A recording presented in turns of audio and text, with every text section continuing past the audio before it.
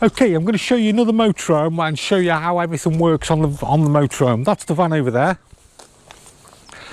It's a bit of a beast, it's an auto trail.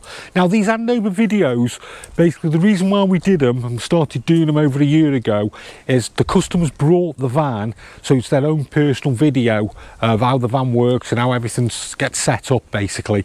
Um, and then they become really popular on, on YouTube. Um, we did a blog uh, the other week asking for a bit of advice, what people want to see and they want to see more prices, more stats, which we are starting to do so. I do value your comments, so put your comments in and things that you'd like to see because we do read them and um, we are starting to evolve how we do the handover videos. Now you've probably seen this van before um, when it was up for sale. We did the walk around and review of it. Um, so I don't really need to go into too much. It's a bit of a beast. Now with this handover video um, whether a van's this size or that size, basically the principle of setting the van up is pretty much the same, only you'll find some of the controls are a little bit different.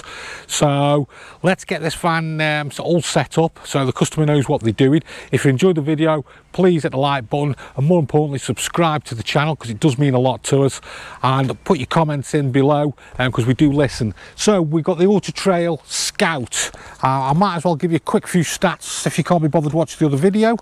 Um, it's a beast like I said, it's just over 8 metres long, 3 metres high, it's a 6 berth with 6 belted seats. This one's a 2018 and it's only done 3,000 miles. It's a 2.3 litre diesel, 140 brake horsepower. Um, basically it's an end lounge, and what else can I tell you about? Built-in sat nav, USB points. It's even got a wine glass in the lockers Finn's put as well. So it's quite a posh one. It's a really nice van actually. So let's not mess around. Let's get the van set up and let's go. So habitation door, we have the awning. Now the awning, there's the, the point for the awning. You just wind it out and the awning comes out. Quite straightforward. So first thing we've got here is the gas locker. Now to open the gas if you just have a look inside there we have. Lift that up. I'll just put that there. That opens the gas locker. Lift the gas locker up. Good size for two. Open the gas. Press the button in. And press another one in. They're really crash um, sensors so it, it, cuts the gas off if um, unfortunate if you did have an accident. And why I'm here if I just show you there that's for the bonnet release catch just have a quick look inside. So it's on the Fiat. I'm six speed and then with the media pack and everything else. So there's the first element we put the gas on. Love the new cabs. Really like them. And then the next one we've got the two locks here. If we lift this up this van's fitted with two leisure batteries. We have the hookup and then just below here is our drain off for our waste tank. So basically everything that goes down a plug hole goes into a waste tank and that drains it down. So we'll just drop that down because it's decided to rain. Then it's nice then it's rain then it's nice and I'm still looking for rainbow. So next one cassette toilet. I've shown you enough times. We take the cassette out to empty. Any resistance stop because you haven't closed the toilet on the inside. Something interesting here. We have the drain off for the fresh water tank and then that's our filler point for the for the fresh water tank. And then we can also put a little 12 volt pump on. Um, if we get caught short and, not anywhere near any taps um, we can have an aquaroll put the pump in and it'll pump water in there. Now what we do have we do have another point here. Now you can actually put a shower on and wash the van off and it takes the water from the freshwater tank. So nice little feature there but you must have the pump on on the inside to be able to work with it. So we'll move to the next part. Have I got the keys? So there we go. That opens that that opens that we open that up. And if you can see underneath we've got a good garage underneath and there's actually what I was talking to you about the pump that you can push in um, and get your water into the freshwater tank there. So just another thing about the lockers. Basically the way to shut them is you must lock them first and push it to like so. And same again on this one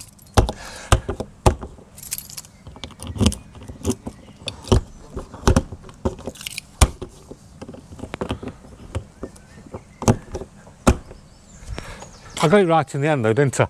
Um, I did get something wrong. It's not 140 to 150 brake horsepower. Now, um, with this van, we're, we're, both going in blind, uh, you people watching out there, because the way we, we, we do the vans is, when a van comes in, we do a pre-check. Um, so somebody, and actually Finn and Kevin have pre-checked this van. When we sell the van, we then do another proper check over, um, and it's actually uh, John who's actually done that. And then when the van's going out and we're shooting these handover videos, I actually do a final check of checking it all off before then we, we hand them out. So they do get the three checks basically. So um, might have to bear with me on this one because I'm going in for the first time on it. But like I said at the start of the video, is if you understand the basics, you can't really go wrong on any type of motorhome. So we'll move to the back. We've got reversing camera above. We have the spare wheel, dead simple. We push this in, unlock it. I'll actually show you to be honest. So if we undo that then, this all slots off and there's your spare wheel.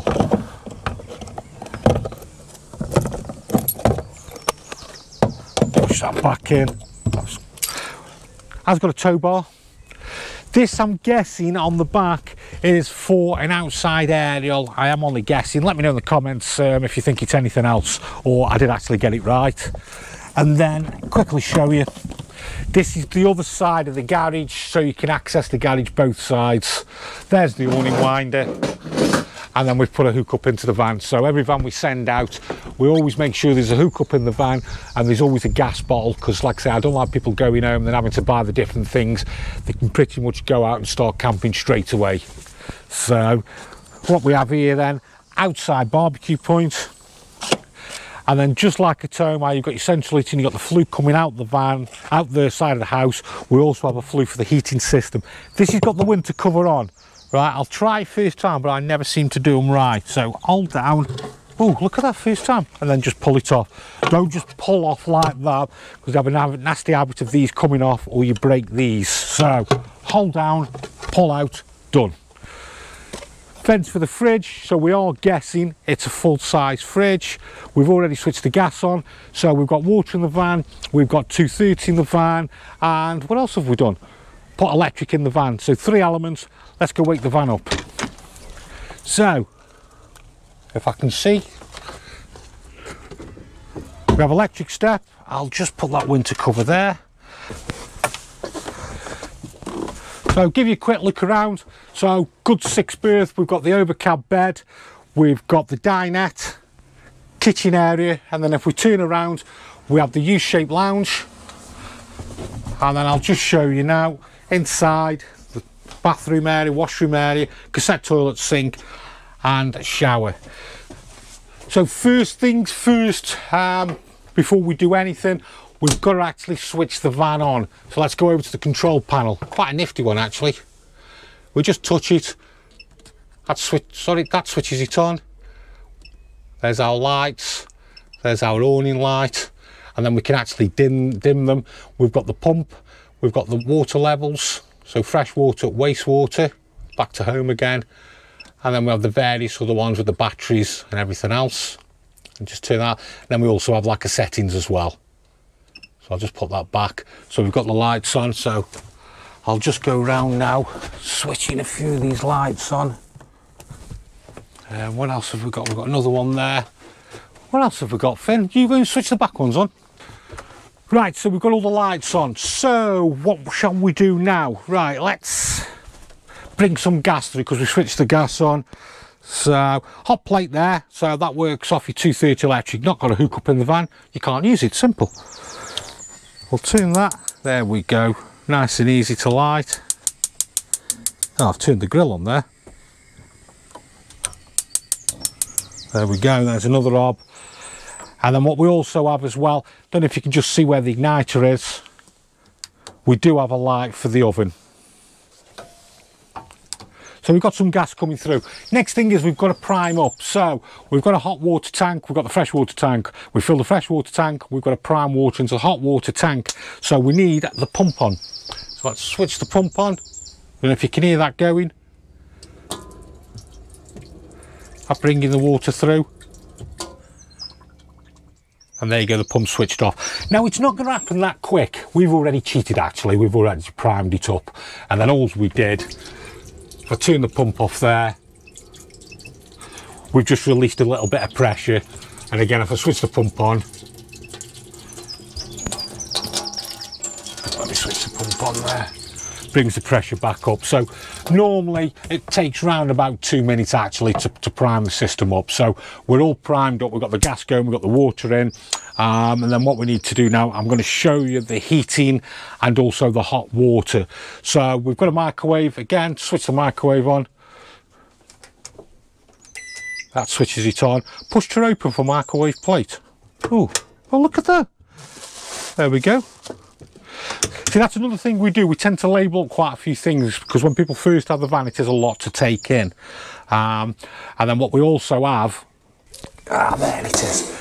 So when we check the vans off, we do a check sheet. It's, it's basically a two-page check sheet, basically. So I don't know if you can see that leisure battery, um, driver side hatch, and we make notes where everything is and then little things like that we do put labels on. So it helps um, for the customer when they've got the van they can go oh where's the water pump? And like we put there in end lounge under bench seat near side which I'll, again I'll show you in a minute. Um, but this didn't take we didn't just make this up. It's two, it's took years of started off with one page and we've slowly added and slowly added as things have gone wrong or uh, we've missed things um, so we've got pretty much everything really. So if you can see there on the fridge we've took a reading and then we've gone back and we take readings so I think we've got it pretty much um, sorted now but we can always add as things happen.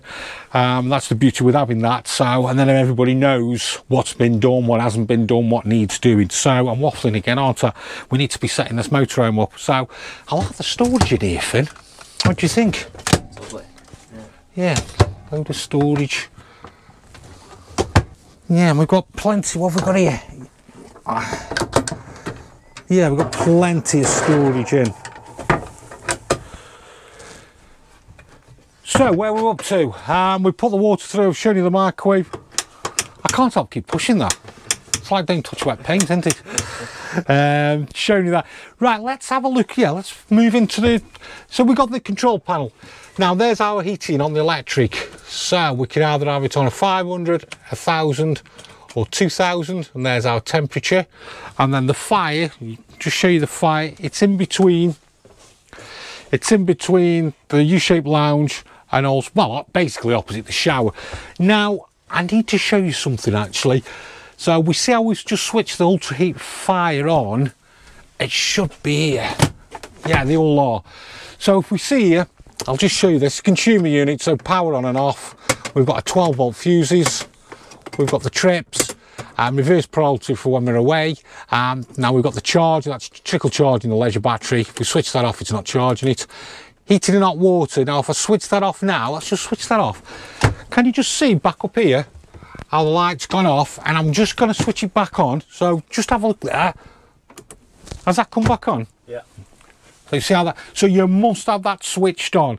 And you don't necessarily have to keep switching it on and off all the time because when you take the hookup out, it'll automatically go off anyway. So there we go, we've got the heating on the electric. Next to that, we have the gas hot water. So if I switch that on now, I've just heard that and I've just heard that lit. Easy way to know if your gas is working on your hot water. Let's go to the flue.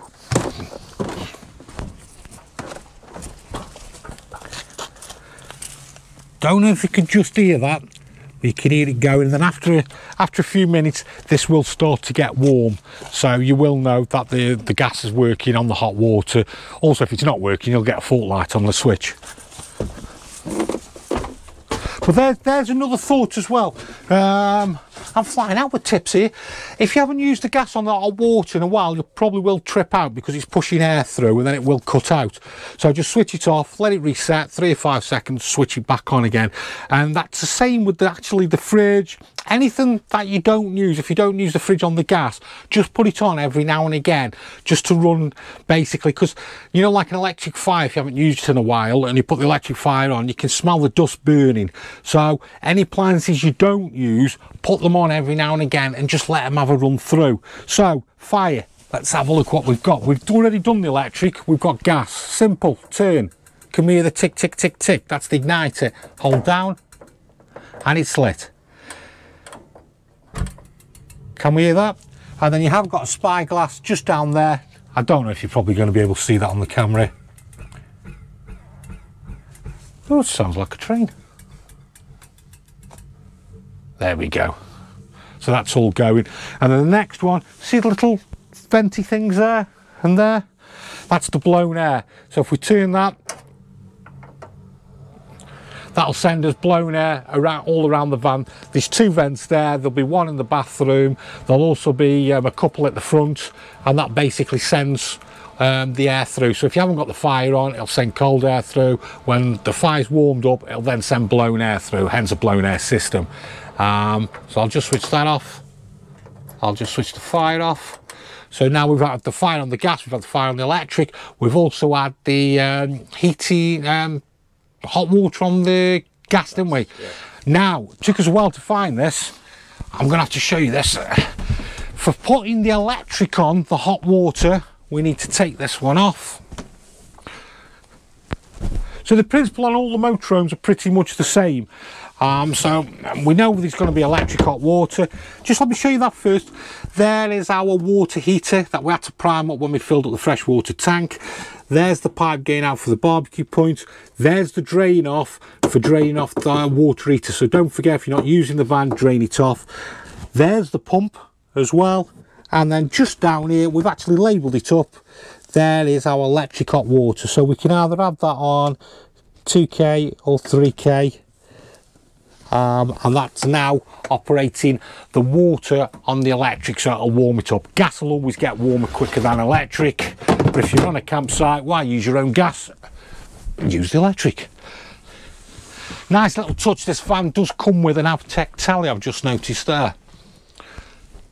Um, great tallies they are great tallies um, while I'm down here, let's have a nosy, see what we've got underneath.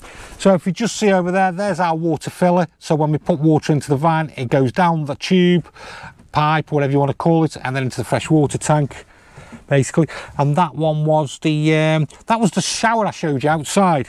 Storage again underneath. And then again, all around the van, we've got good locker storage all the way around.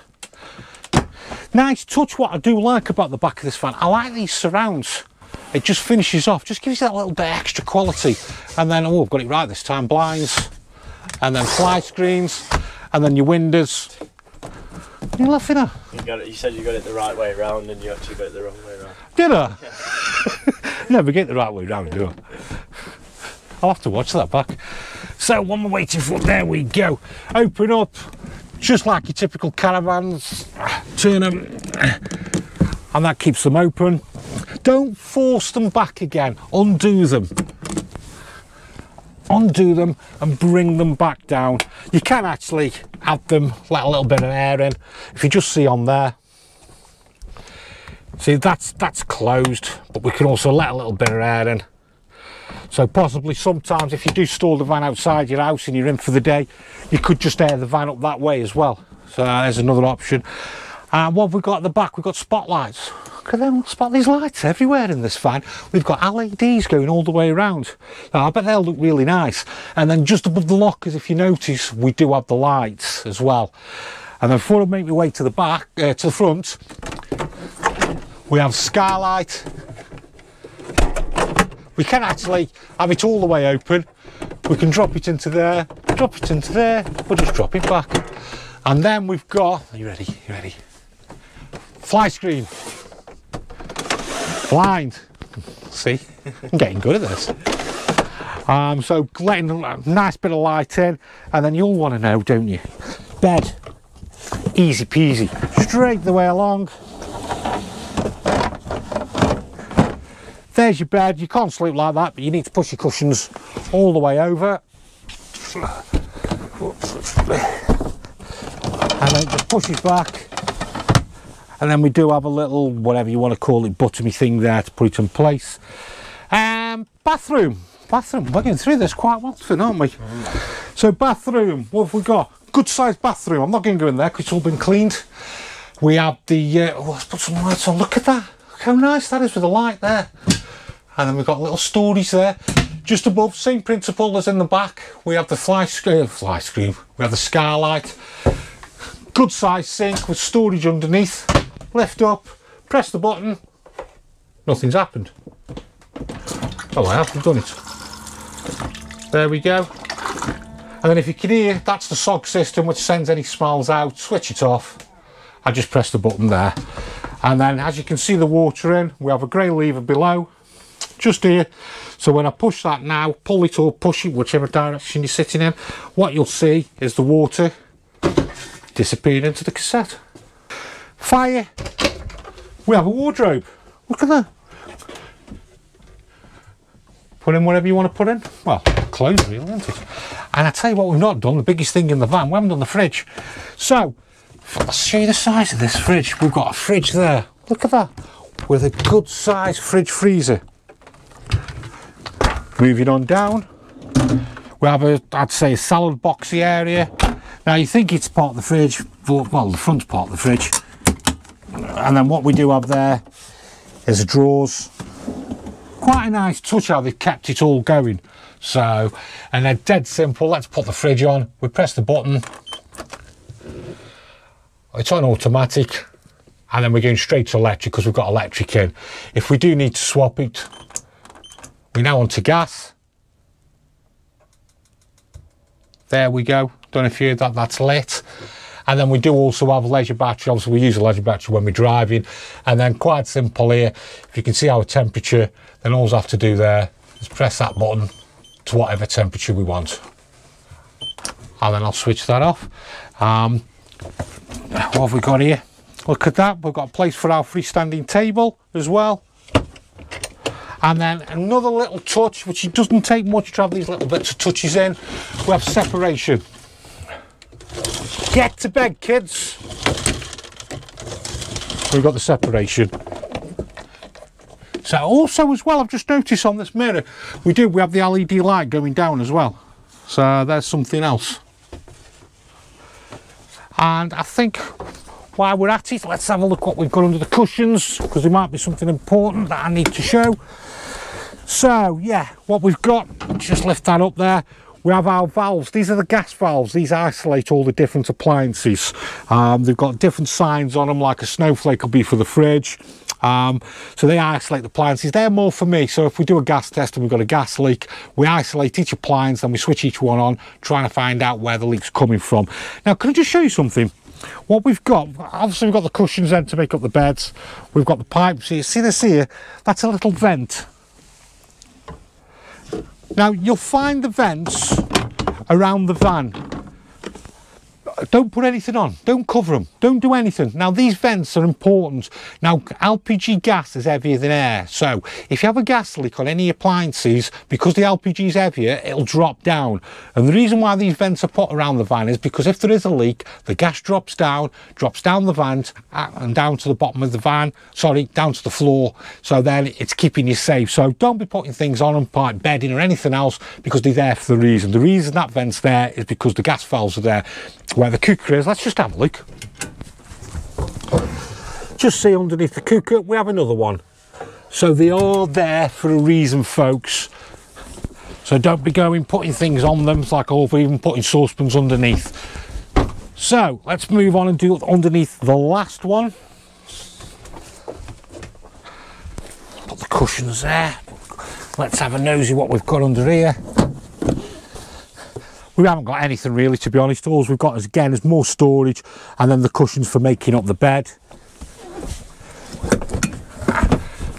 I'm making up the bed on this one. Um, I don't need to show you because we've already sold the van and he can work it out himself because he's already got a van so he knows how they work. Basically the bed to make it up is we take the table off. We see the runners. There's one there there's one on the other one. This bed drops on the runners and then all of a sudden then what you all of a sudden? And then we just put the cushions along to make up the bed. So I think we're almost done there aren't we? Um, water pump yeah we'll show you the water pump fridge. Hot water there's five power points in this van. Um, there's two of them so there's some more dotted around. Um, I've shown you the fresh I've shown you the waste. The leisure battery we've shown you the leisure battery. I've showed you everything. We're done. We're dusted. That's it. Great van, great six berth van, love your shaped lounge, love this, auto trail quality, loads of storage. If you enjoyed the video, subscribe to us. I've had enough and I'm going, I'm worn out. I forgot something else, extractor fan, electric, well 12 volts. See, there we go. We can have air coming in the van. And if we go the other way, we can have air going out the van. So I nearly forgot that. Anyway, I'm off.